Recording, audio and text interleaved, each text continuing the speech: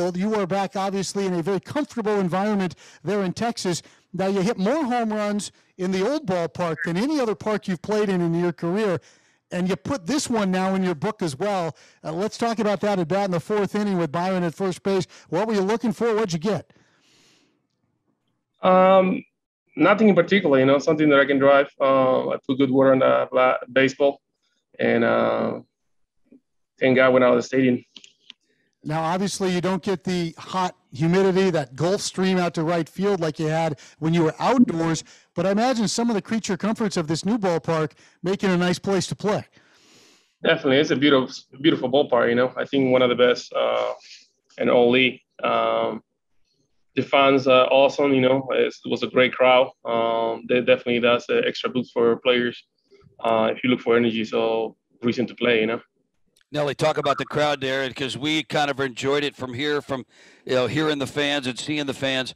You came around right before you got to third base, obviously uh, blowing a kiss to somebody. Was that your fan group out there that, uh, or you promised somebody that you would hit him a home run? Uh, that was my daughter. Was there? She, there you go. Yeah. Did you tell her to come to the ballpark today that you were going to maybe do something like that for her, or do you ever do things like that? Um, yeah, she she she was here yesterday and today, so she'll be here tomorrow. Uh, so um, always nice to do something good again in front of your family. How, you, you, know, Nelson. How does this ballpark play? We talked to uh, Arraez uh, yesterday. He said it's a fast track infield, but also he says from the hitter standpoint, the backdrop. You, you do see the ball well here. Um, yes, I got some issue with the timing. Uh, I think the mound is kind of higher than normal. Uh, we have to check that out. But um, the timing is not right. Something is is cricket uh, to to be able to time the ball.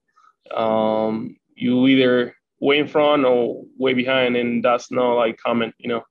So something is cricket up there. Mm. Yeah, I just worry that when you're in the batter's box, you got all those people eating like right behind you. You got the food and the drinks and the babies back there. I mean, it's like you're playing in a in, in, a public park. Byron Buxton caught the last ball. He was on first base when you hit the ball out. Uh, he forced an error with his speed down the line. What just overall, aside from the, the pure numbers that we could recite, what is his impact when you can pencil him into the lineup?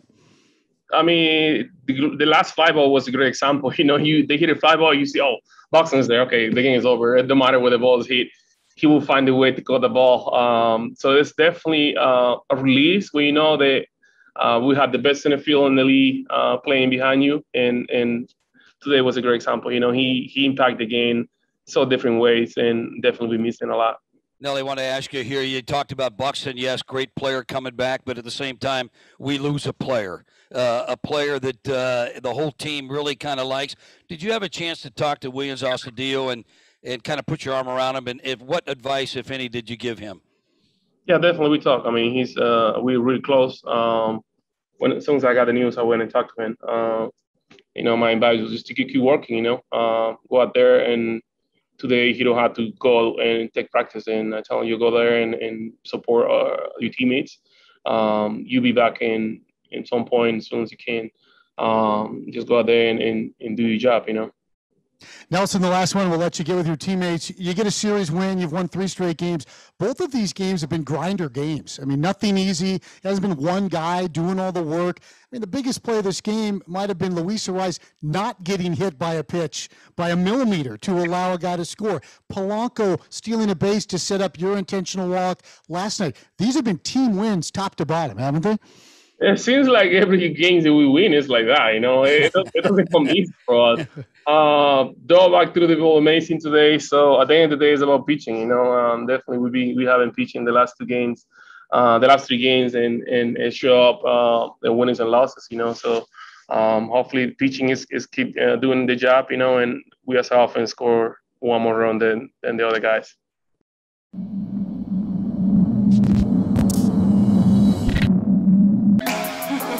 love.